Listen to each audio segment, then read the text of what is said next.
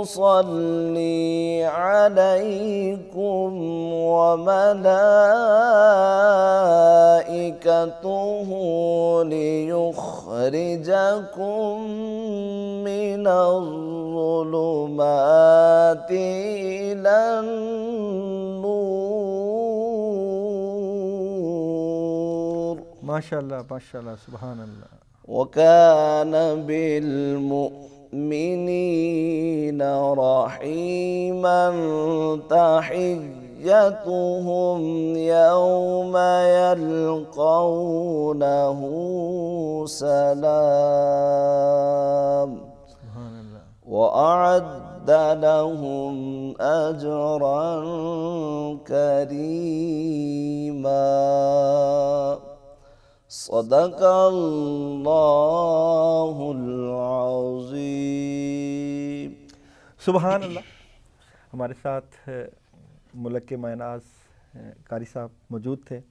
रबा मेरे हाल दा महरम तू, मेरे अंदर तू, मेरे बाहर तू, मेरी लू नू मेरी नस नस दे विच तू। कए हुसैन, फ़कीर साईं दा रबा मैं ना ही सब कुछ तू। रमज़ान की बाबरकत सातों में, रब के साथ अपने रब को मज़बूत करना है, रब के साथ अपने प्यार को बढ़ाना है, और ये साबित करना है कि ये जो जिस्म है, ये जो रूह है, उसी के लिए है। हमने उसकी तरफ़ लौट के जाना है।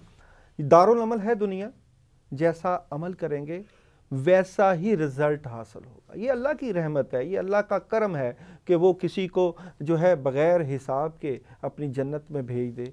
मगर हमें अपना काम करते रहना है, हमें माफ़ी के ज़रिए, अस्तगफार के ज़रिए, दरूद दरूद के ज़रिए, कुरान पाक की तलावत के ज़रिए, रोज़ों के ज़रिए रब की रहमत को हासिल करना है, रब के इश्क को, रब के अरफान को, रब के कुर्ब को हासिल करना है और इन सातों को ज़ाया नहीं होने देना। और साबित करना है कि ए रब करीम, ये जिसम, ये जान, ये उठना, बैठना तेरा है। हम तेरे सिवा किसी के आगे नहीं झुकेंगे। तेरे सिवा किसी से नहीं मांगेंगे। तू ही सब कुछ देने वाला है। तू ही हमारा रब और तू ही पालने वाला है। सना मुनीर आप हमारे साथ मौजूद हैं और बहुत आपने वक्त निकाला हमारे लिए। क्या समझती हैं? रमज़ान की रूह क्या है? देखिए जो एसेंस है रमज़ान का वो ये है कि कुर्बानी है अल्लाह ताला के लिए इबादत करनी है लोगों के काम आना है लोगों की खिदमत करनी है और ज़कातें देनी है। इबादत का मतलब आप देखते हैं बहुत जोश व खरोश से लोग इबादत भी करते हैं मदद करते हैं। तो आई थिंक ये ये यही चीज़ें होती हैं।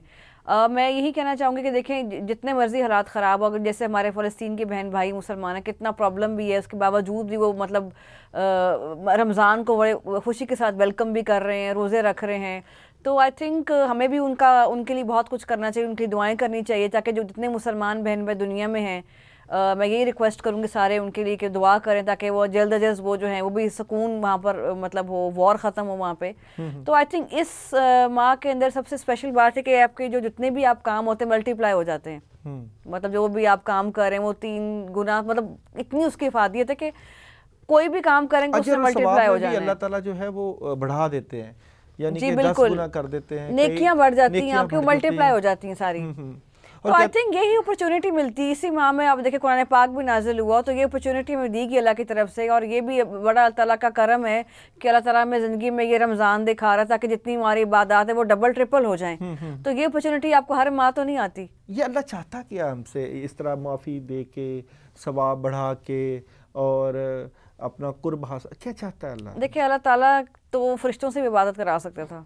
बट सिंस इंसान अशरफ मखलूक़ात है तो अशरफ मखलूक़ात को अल्लाह ताला ने इंसान को एक नायब अपना एक नायब मुकर करके ज़मीन पे भेजा कि इंसान जब आए तो फ़ैसले सही तरीके से करे फ्री विल दी गई है लेकिन ये भी कहा गया कि फ़ैसले सही अकल के साथ शोर के साथ करे तो मैं समझती हूँ ये इंसान के एक ट्रेनिंग का भी आप कह सकते हैं मतलब एक माँ है जिसमें इंसान ट्रेन होकर दूसरों के दुख तकलीफ़ को समझ सकता है हम जब रोज़ा रखते हैं जब हमें भूख लगती है तो हम अगले बंदे का एहसास कर सकते हैं तो ये आई थिंक ये एहसास करने का महीना भी है और एक दूसरे के साथ मोहब्बत के साथ मिल बैठ कर रहने का है मतलब तरीकाकार सिखाता है। और हम ये कह सकते हैं सेक्रीफाइस हमें करना सिखाता है कि हम किस तरह लोगों के काम आ सकते हैं और दूसरों की प्रॉब्लम प्रॉब्लम्स को सॉल्व कैसे कर सकते हैं। यानी कि हम बाकी तो देखिए लाइफ में तो महीने तो बिल्कुल रैट रेस है ना।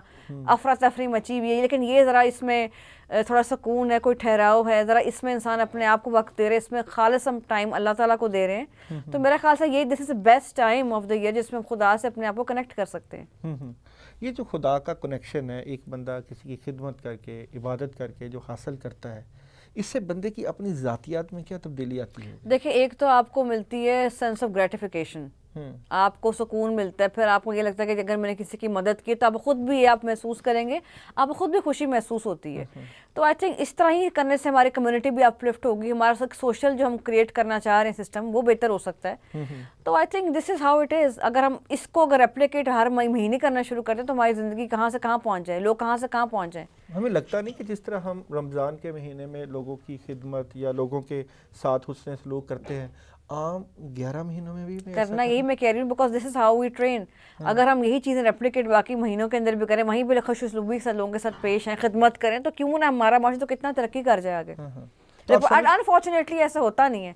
नहीं आप समझते हैं कि बाहर के ममालिक में और पाकिस्तान के माशरे में या पाकिस्तान में फिर भी ऐसा माहौल है कि यहाँ फिर भी छोटे बड़े से अखलाक से पेश आया जाता है। इज़्ज़त जो है वो महफूज हैं या निगाह में जो है वो किसी की इज़्ज़त और बुजुर्गी मौजूद है। देखिए ये तो दीनी बेसिक कॉन्सेप्ट हमारा दीन कहता है ना। लेकिन एज सोसाइटी अगर हम बात करते हैं ये चीज़ें काफ़ी कमी है पाकिस्तान में इन चीज़ों की। तो इस पर वर्कआउट करना चाहिए।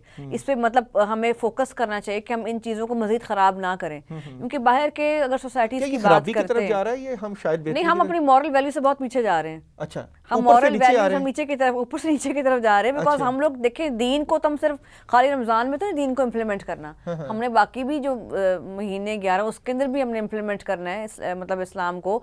लोगों से अच्छी तरीके से पेश आना है लोगों के लिए आसानियाँ बांटनी है हम्म। आसानियाँ पैदा करनी है अपॉर्चुनिटीज़ देनी है। तो दैट डज नॉट मीन कि सिर्फ़ इसी महीने में आपने करने करें लेकिन बट उसको फिर आगे भी करें ना। ये तो फिर अगर आप इस महीने में खाली फोकस हो रहे हैं बाकी महीने कुछ नहीं करें फिर मैं समझती हूँ कि तो अगेन इट्स अ जर्नी तो आपको बाकी भी महीनों में ऐसे काम करना चाहिए? एक आम इंसान को अपनी हम्म। पर्सनैलिटी को क्रिएट करने के लिए या माशरे में अपना मकाम बनाने के लिए या ये साबित करने के लिए कि मैं इस माशरे में बड़ा कलीदी और बेहतरीन करदार अदा कर रहा हूँ।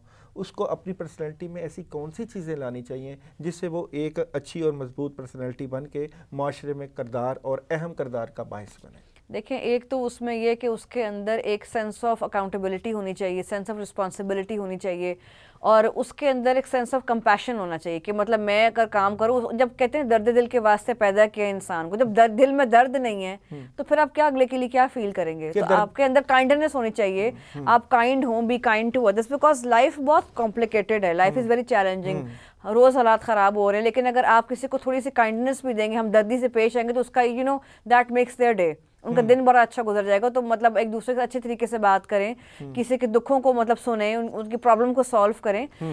जब हम इस जज्बे के साथ काम करेंगे तो मेरा नहीं ख्याल कोई मसला आगे भी होगा लेकिन अनफॉर्चुनेटली ये चीज़ें जो हैं मॉरल वैल्यूज़ जो हैं वो बहुत ख़त्म होती जा रही हैं। लोग बस अपने ही मतलब के लिए मतलब के होके रह गए और वो दूसरों के बारे में कम एहसास करते हैं। डेफिनेटली इस माँ भी एहसास करते हैं करना चाहिए इसको बाकी भी दिनों में करना चाहिए। बाकी भी दिनों में एहसास करना चाहिए। हमारे साथ हजूर अकदर साहब मौजूद थे और आपने जो अल्लाह ताला की जो है हमदो सना से समा बांधा, माशाल्लाह दिल जो है वो पसीज किया अल्लाह की याद में, अल्लाह के कुर्ब में, अल्लाह के ताल्लुक़ में। तो बहुत शुक्रिया आपने बहुत कीमती वक्त निकाला और मुझे पता है कि आपने नमाज़ तरावी का भी एहतमाम करना होता है बल्कि मैं वक्फे में भी यही कह रहा था कि आपकी बहुत जो है मेहरबानी और शुक्रिया कि आपने इतना वक्त निकाल कर हमारे इस प्लेटफॉर्म को इज़्ज़त बख्शी।